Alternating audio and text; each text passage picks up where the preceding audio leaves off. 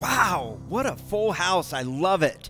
Thank you all for coming today to worship Emmanuel, God with us. If you didn't know this, Christmas is all about Jesus. I know you did. That's why you're here. Because we are here to celebrate God loving us in such a way that He sent Jesus to be born in a manger and to live a perfect life and then to die for us so that we could be made right with God. Now, there's a lot of things that we can receive this time of year. I think you would agree. A lot of times we can receive a little bit of stress this time of year. Things can be busy and crazy. There's definitely things that happen. There's sickness that happens, right? There's reminders of things we've lost throughout the year. There's a lot of things that we can receive, but there are certain gifts that God wants us to receive. And these are gifts that come to us through Jesus, Emmanuel, God with us. Now, we've looked so far at receiving God's gift of hope, receiving God's gift of love, and receiving God's gift of joy. Today, we're going to talk about receiving God's gift of peace. Peace. But here's the thing we have to choose to receive that gift. Because there's a lot of other things that we can choose that are opposite of peace. When I think of what is the opposite of peace, I think of two words in particular. One being conflict. Oh, not getting along with this person, or there's, there's wars raging throughout the world and, and there's conflict. That's the opposite of peace. Another thing is chaos parents know exactly what I'm talking about. Kids are crazy, they're hyped up on, on sugar and going crazy. Oh, I want to open the gifts, and everybody's falling apart, and it just doesn't seem like peace, right? It seems like chaos. But here's the thing what if God wants us to receive his peace even when things are chaotic? Because we think of peace as the kids are in bed. I can actually have a conversation with my spouse, or I can read a book, or, or there's peace because people are getting along, or maybe someone's moved away, right? That's what we think of. But what if God wants us to have peace even when there's conflict? What if God wants us to have peace even when there's chaos? It's not just the absence of. So, what I want to encourage us to do is, I want to encourage us to unwrap the gift of peace that God has for us. So we're going to unwrap the gift of peace. God says, I want you this year to have my peace no matter what. But here's the thing we still have conflict, right? And sometimes we can unwrap conflict and we can choose conflict and reject peace. And sometimes we can choose to unwrap and, and hold on to chaos and reject peace. But here's the thing. You know, we sang about Silent Night, right? Do you know that things were not peaceful the night Jesus was born? Things weren't peaceful. There was oppression from the Roman government, there was political unrest, there was conflict between humanity and God. So, how was it a night of heavenly peace? Well, because it was a holy night, because peace came to us.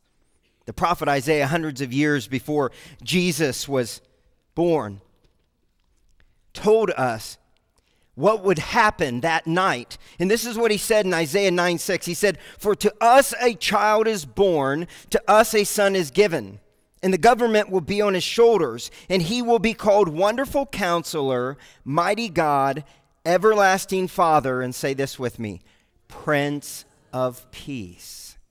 And the angels, when the angels declared the birth announcement of Jesus.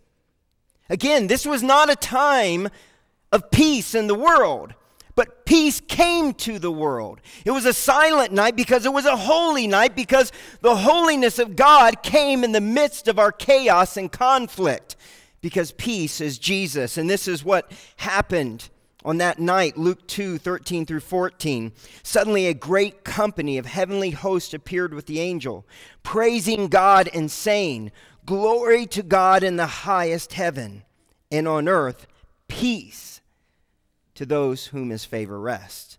Not because there was an absence of conflict, not because there was an absence of chaos, but because peace came to us. And the reality is, is peace is not just a symbol, not just a hope. Peace is a person, and his name is Jesus. Peace came on that holy night. It was holy because Jesus came to us. This is what the Apostle Paul says about the person, Jesus, our peace, in Second Thessalonians 3:16. He says, "Now may the Lord of peace himself give you peace at all times and in every way. The Lord be with all of you." Now I want to talk today briefly just three ways God wants us to receive Jesus, not just this time of year, but every time of year, and to receive Jesus, the gift of peace. And the first way, and this is on your bulletins if you have that, is to receive peace with God. You see, when the Prince of Peace came to us, when the angels declared peace on whom God's favor rests, what that means is everyone who would believe in Jesus would be able to receive the peace of God. They would be able to receive a peace that is greater than any chaos, greater than any conflict, greater than any trial of life. I know some of you have seen the bumper sticker that says this No God, no peace. No God, no peace. And see, the reality is, is that without God, without Emmanuel coming to us, we're not going to have peace in life. Again, peace is not just the absence of conflict and chaos. Peace is God's calming, God's rest, that security in God, even in the midst of chaos and conflict. And the first way is to have peace with God because the reality is is that before Jesus died on a cross there was conflict between us and God. Scripture says that we were God's enemies because of sin. His wrath was going to come on all who were consumed by sin. And honestly, that's everybody. And the only way we could be at peace with God is for Jesus to stand between us and God and be the perfect atoning sacrifice. This is what Paul writes in Romans 5 1 through 2 about receiving peace with God. We're no longer at war or conflict with God because our sins have been redeemed. We have been justified through Christ. And this is what he says in verses 1 through 2. Therefore, since we have been justified through faith, we have peace with God through our Lord Jesus Christ, through whom we have gained access by faith into this grace in which we now stand. Now, kids, I know you're with us today, and, but I've been talking to the adults because when we talk about Jesus being born in a manger, and that's what Christmas is about, we also know that Jesus, the same Jesus born in a manger, is the same Jesus that died on the cross for us. So we celebrate his birth, but we also are grateful and thankful that he died to forgive us of our sins and to make us right with God. We are no longer at war with God. We are no longer enemies of God because sin has been atoned for, has been covered, has been satisfied through the sacrifice of Jesus. The first and greatest way that we can receive peace is to receive Jesus as our Lord and Savior and to have Him stand between us and God and say, You have been made right. That is the first way. And if you have not accepted Jesus as your Lord and Savior, don't wait. 2018 is not guaranteed to you. Be made right with God and receive that peace that comes through Jesus Christ. The second way that God wants us to receive peace is to receive peace within to receive peace within. Because the thing is, is when chaos and conflict comes into our life, it tears us up inside. We're filled with anxiety. We're filled with fear. We're filled with doubt. We're filled with anger. We're filled with disappointment. We're filled with depression. See, that's what chaos and conflict does. It creates a war inside of us. But God has given us Jesus Christ.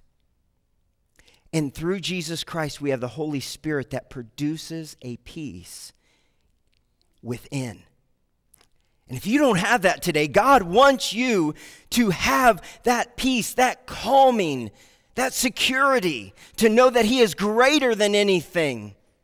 And even though we're sitting there and everything is just going crazy around us and everything's falling apart, we can actually be still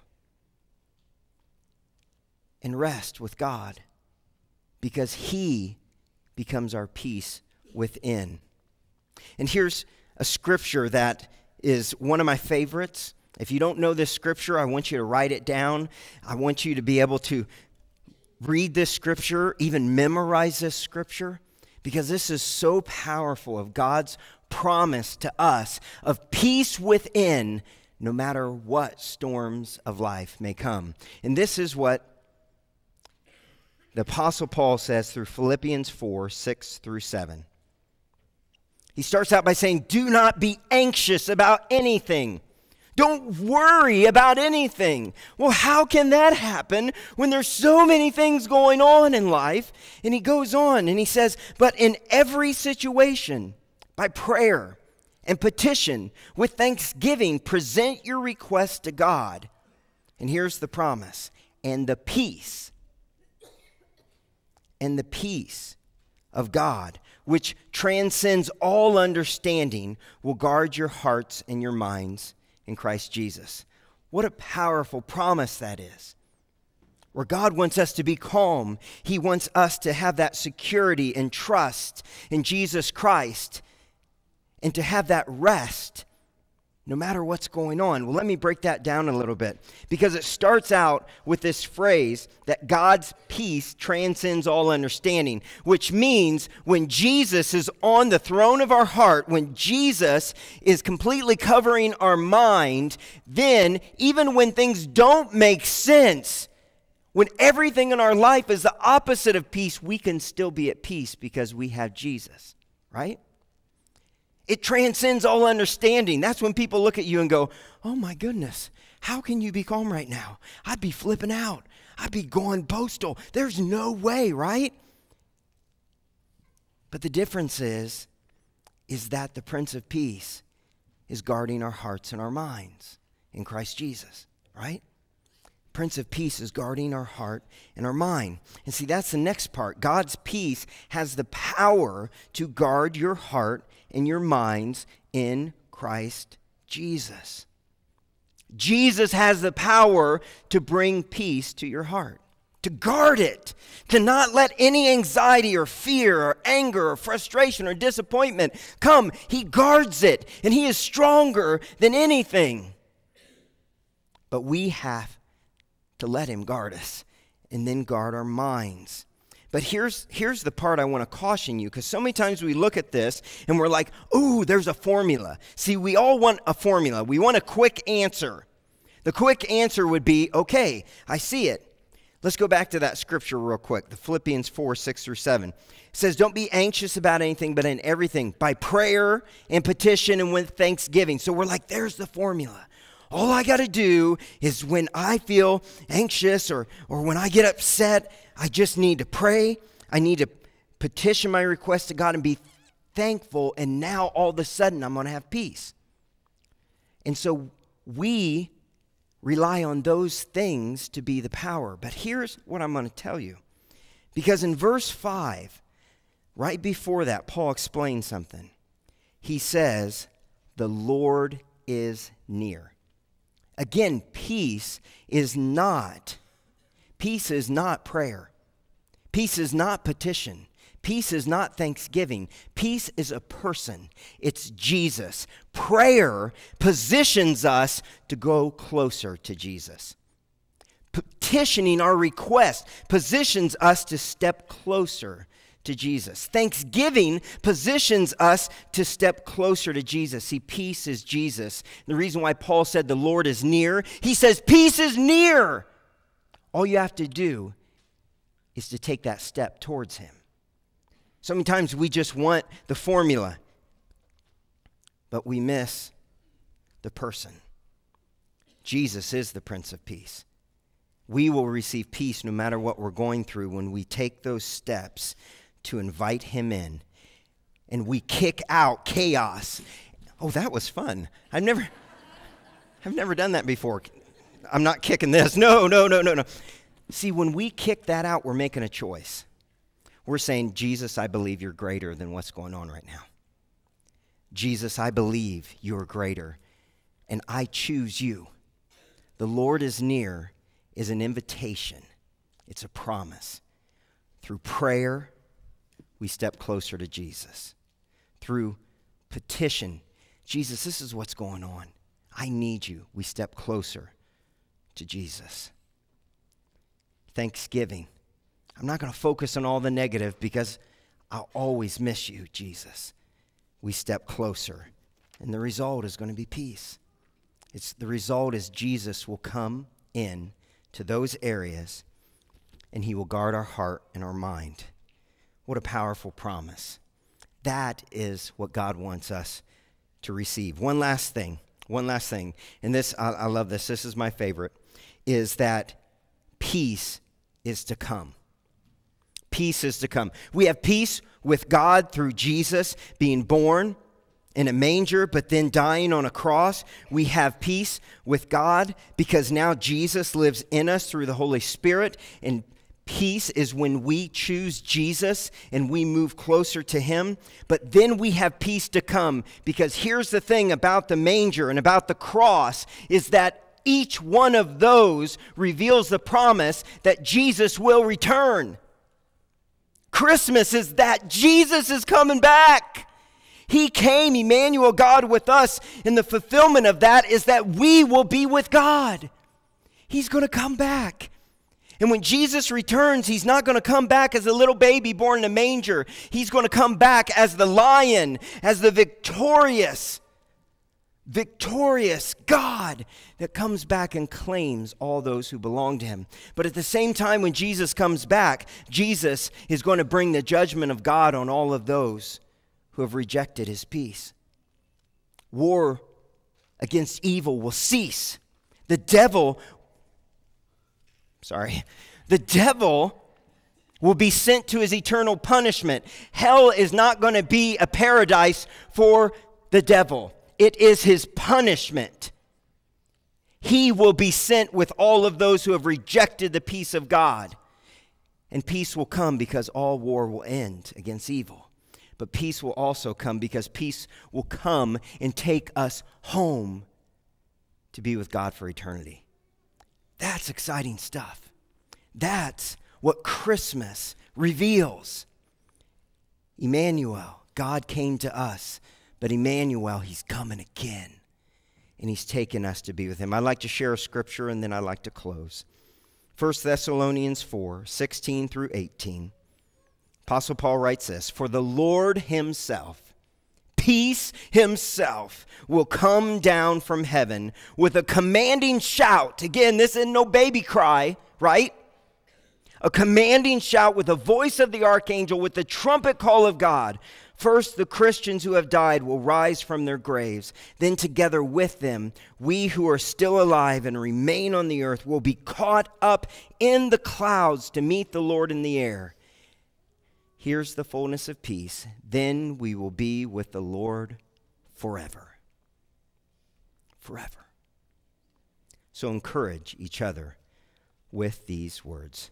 The final expression of the peace we long for is Jesus coming back. I'd like to close by showing a, a video that I think wraps up really Christmas as, as peace coming to us.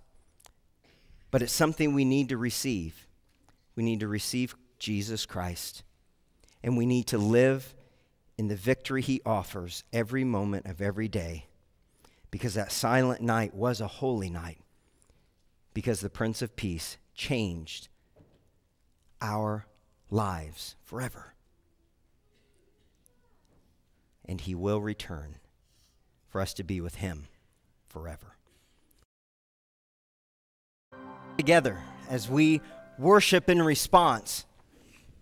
How does God want you to receive peace today? Is it peace with God for the first time, declaring Jesus as Lord and Savior? Is it peace by being able to say, God, I give you this pain, this trial, this trial, this chaos, this stress. I take those steps to choose peace, to choose Jesus. Or is it to be able to live with that overwhelming hope that Christ is returning? How will you respond today? Let us join with you.